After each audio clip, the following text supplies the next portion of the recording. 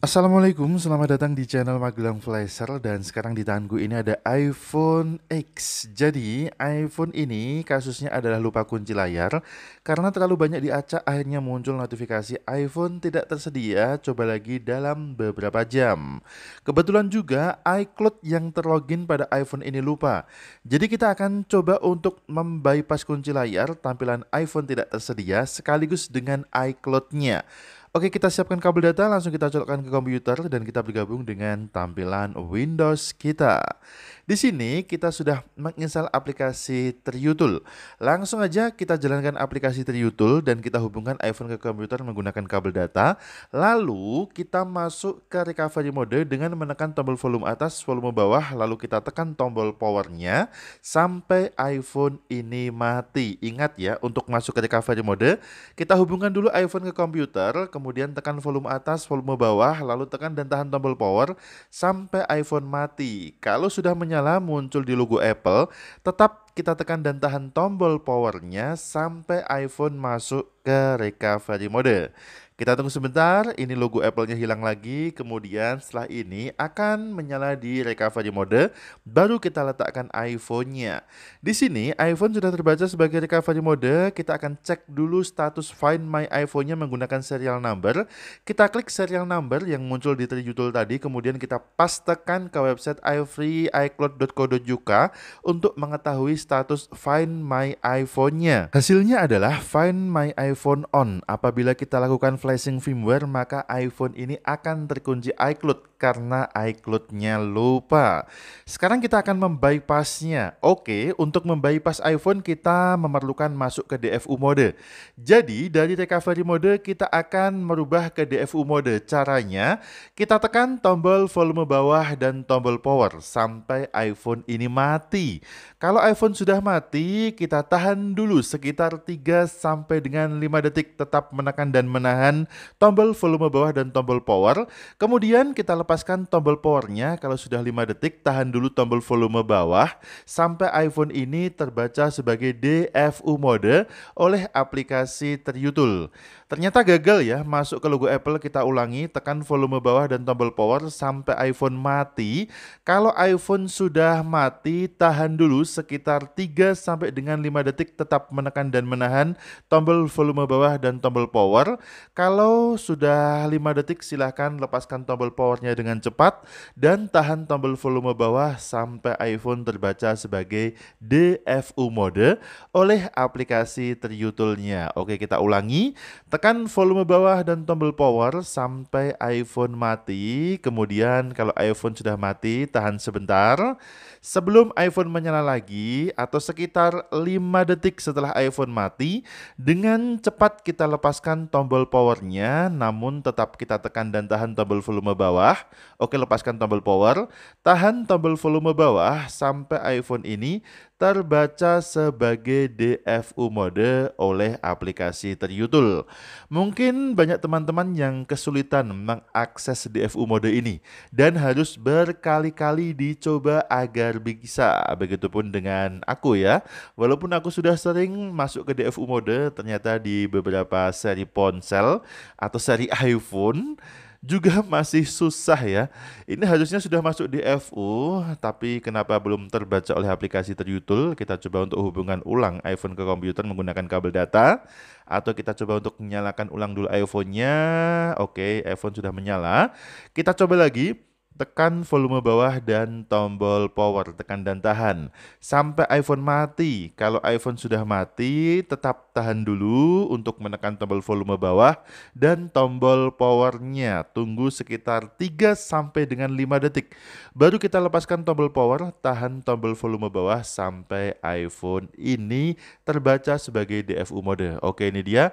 Kita tekan dan tahan tombol volume bawah dan tombol power, kemudian lepaskan tombol powernya, tahan dulu tombol volume bawah sampai iPhone terbaca sebagai DFU mode oleh aplikasi Triutul seperti ini. Oke, kita letakkan iPhone-nya Di sini iPhone sudah terbaca sebagai DFU mode, siap untuk kita bypass. Untuk bypassnya kita akan menggunakan aplikasi Unlock Tool dan aplikasi ini tidak gratis. Pada Unlock Tool kita pilih menu Apple, kemudian muncul notifikasi warning, kita pilih I understand saja. Selanjutnya kita akan masuk ke menu Ramdis, langsung kita pilih menu Ramdis.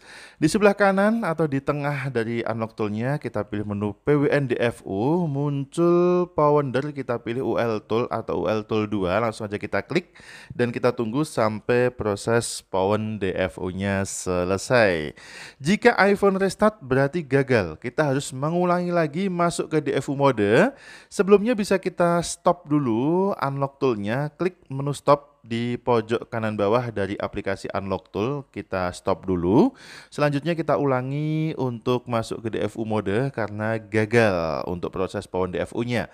Kita jalankan lagi aplikasi Trio Tool-nya, kemudian kita matikan iPhone-nya dulu dengan menekan tombol volume atas, volume bawah, dan tombol power. Lalu kalau sudah mati dengan cepat kita tekan dan tahan tombol volume bawah dan tombol power. Tunggu 5 detik baru kita lepaskan tombol powernya tahan tombol volume bawah sampai iPhone terbaca sebagai DFU mode oleh aplikasi Triutul.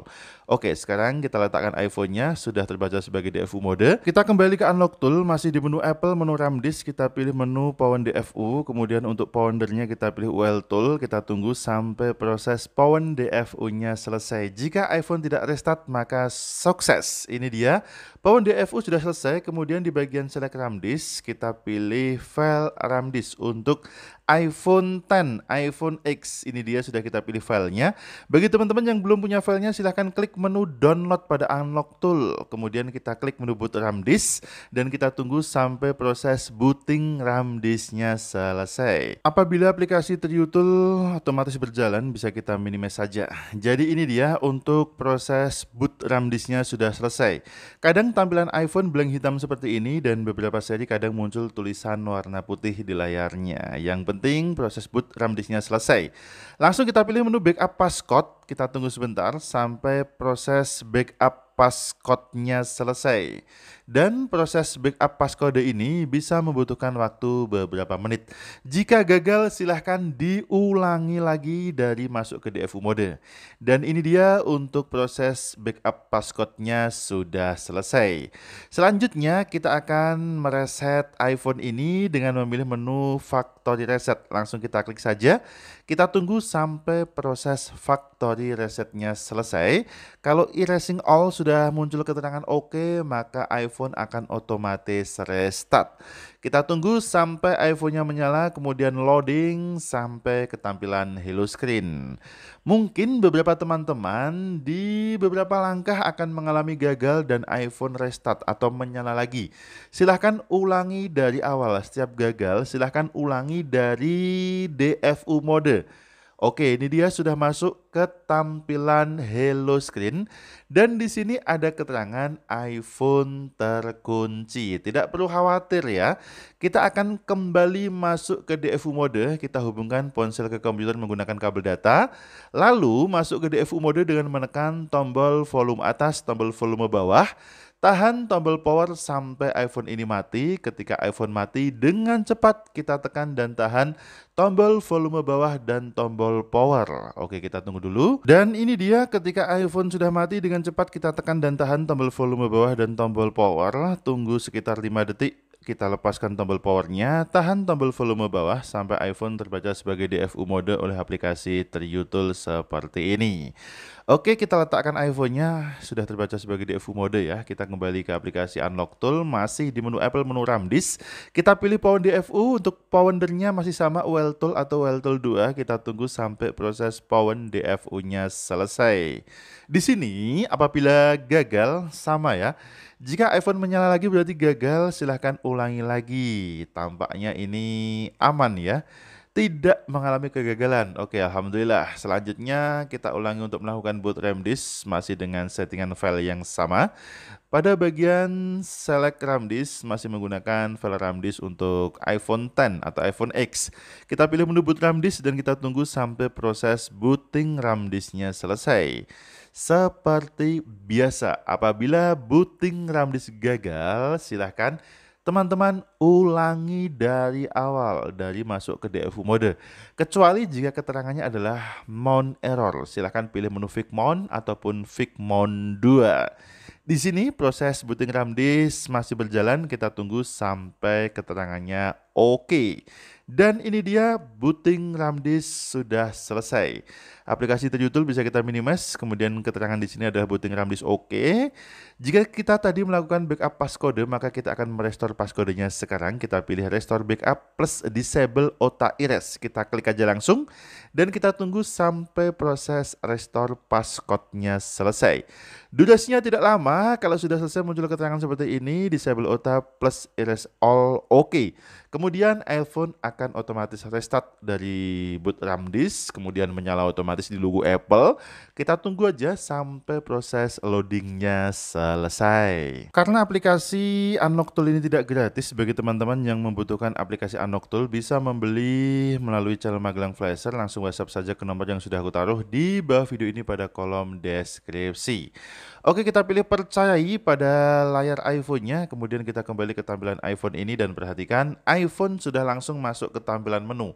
Kunci layar dan notif iPhone tidak tersedia sudah berhasil kita bypass sekaligus dengan iCloud-nya. Ketika kita hubungkan iPhone ini ke jaringan internet maka akan tetap aman. iPhone bisa kita gunakan, iCloud-nya kosong, bisa kita loginkan lagi iCloud pada iPhone ini. Dan ini adalah iPhone 10 dengan versi iOS 16.7.8. Terima kasih sudah menonton video ini, mudah-mudahan bermanfaat. Sampai jumpa di video selanjutnya dari channel Magelang Flasher. Ingat tetap jaga harga servisan dan akhir kata dari kami. Wassalamualaikum, tentu saja mantap jiwa jadi nota.